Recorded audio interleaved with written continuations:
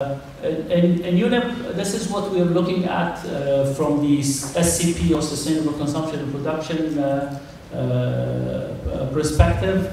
We always have the uh, 3P partnership, the private, public, and uh, partnership.